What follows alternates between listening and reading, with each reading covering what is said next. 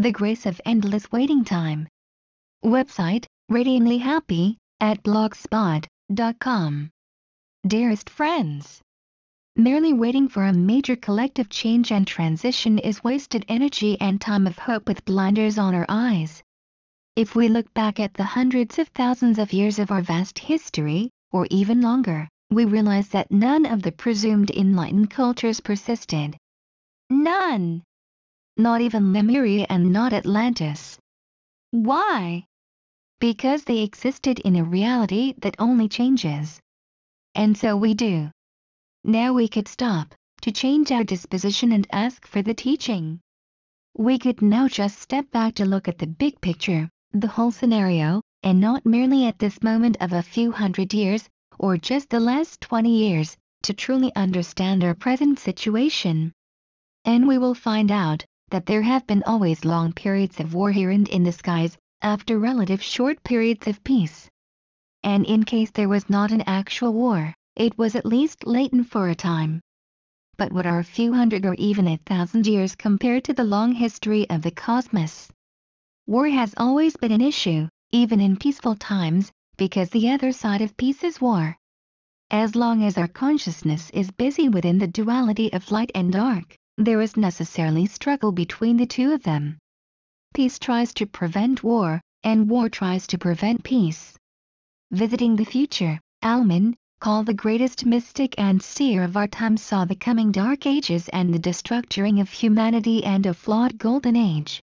If we take the truth of change serious, we notice the never-ending positive, plus, and negative, minus, movement of a sinus wave, one after the other the positive curve naturally transiting into the negative and the negative transiting into the positive. Same with the yin and yang principle. There was never ever a time of constant positivity, never, and even the predicted golden age is supposed to last a limited time of only 1,000 years, not to mention what Alman said about it. What? Only thousand years, my heart cries out. Is there anybody crying with me? What I get is that most people seem to think that the golden age will last forever or they seem to be content with these few years of some relief, alternative technologies, no wars, some love, yes, some happiness, but all soon to disappear again, because it is still duality land. Dear friends, did you ever ponder about this? How many times would you reincarnate in these short thousand years? Perhaps ten times? And thereafter? Ah, yes, we are going back to the planets we came from. We are going to higher and more subtle realms and dimensions. Besides that this must be earned and that there is a reason why we are here, even the subtle realms are in constant movement. In the great wisdom teachings of ancient India about the gods it is said, that their joy and celebrations in the heavens, after the time of a few hundred or thousands of years, according to their karma, crumbles away, their flowers die, and overwhelmed by grief, depression and loneliness they are to take a body again in the lower realms. This all is born from the deep-rooted notion of duality. And duality exists, as long as we identify with a separate body-mind. Duality is not transcended by desiring and then living on a higher plane of existence with floating cities, colors, music and some ethereal love and light. Yes, there is evolution, but it must be evolution that transcends the separate, brain-based consciousness into the one field of divine source consciousness. Evolution of merely the body-mind is but another limitation and is part of duality or separation. As we are now waiting for another positive, but short-time sinus wave, it will never appear because others come to save us, but ultimately because of the law of constant change, which is mostly brought about by cosmic and planetary forces or cataclysms, as history has revealed. There is nothing that will save us, while we are beings, deeply ingrained and identified with the idea of duality. Because mortality is inherent in duality. Therefore we must decide to go through a process of transcending duality. We become what we are focused on.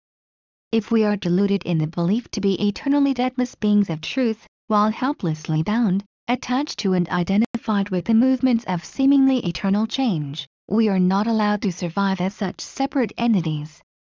But because we are in truth eternal beings beyond or prior to change and duality, there is the grace of divine intervention in this endless waiting time. We got this imperfect condition to make sure we don't forget to return to what we are, because ultimately we desire nothing less than our true divine nature, which is beyond change, suffering and limited identification with the body-mind, gross or subtle.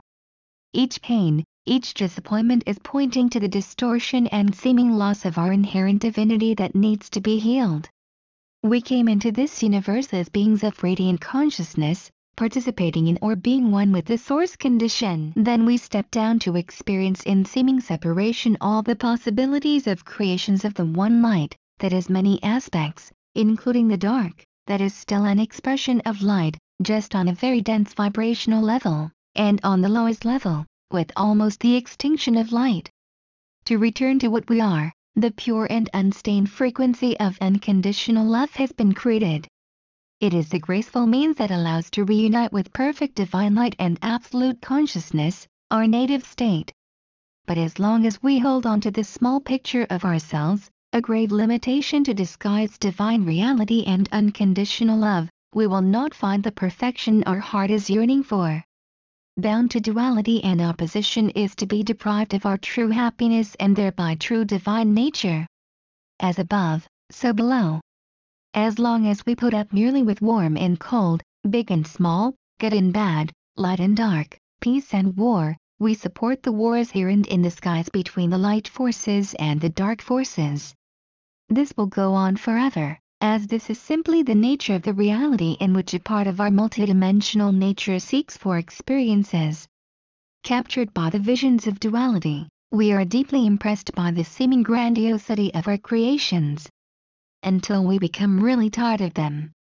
Even tired of again and again temporary arising hopes and temporary regained vigor and self-enforced enthusiasm to seek in the realms of change for perfect peace, and until we come to the conclusion that there is no real way out of the seemingly eternal dilemma, after so many trials to ride again and again the light of the positive sinus wave, with exaggeratedly hopeful joy, a compensation for the fear it might end soon again. Who arrived at this point, is facing deep depression and hopelessness. But it is actually a good thing. Because it tells us beloved, you are stuck, because you are on your wrong path.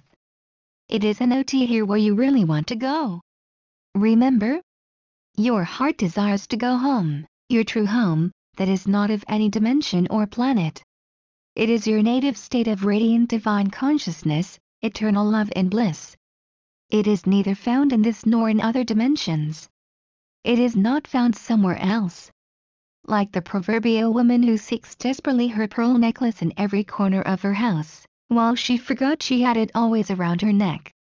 We do not need anything but to do the happy, although hard work, and develop a relationship with our own deepest core condition, by acknowledging and letting go of everything that is in between false beliefs that persist as stuck energies in our mental, emotional and spiritual bodies, blocking the downpouring of the blessed and powerful divine current of what we always have been, when we entered this universe.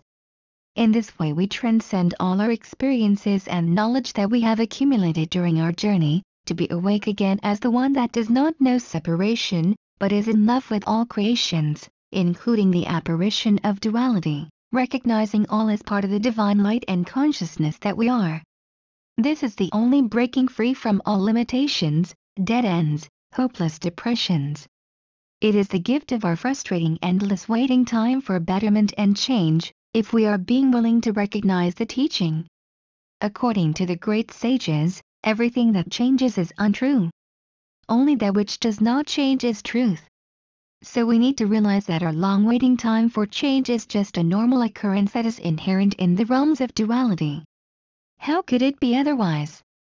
And so, no complaint and no desperation about it is based on reality, but rather on illusion. We are merely dealing with cosmic laws we have chosen to experience. We must give up useless and unrealistic hopes and become real and true to ourselves in our choices, to accept the experiences within duality as they are, or to transcend the situation by entering the ecstatic ultimate path of self-transcendence to return to our divine origin. The choice is entirely up to each one of us, if we use our self-authority and higher free will. None of this is easy. But let happiness be your guide. Many blessings on the path of your choice. With love, Ute.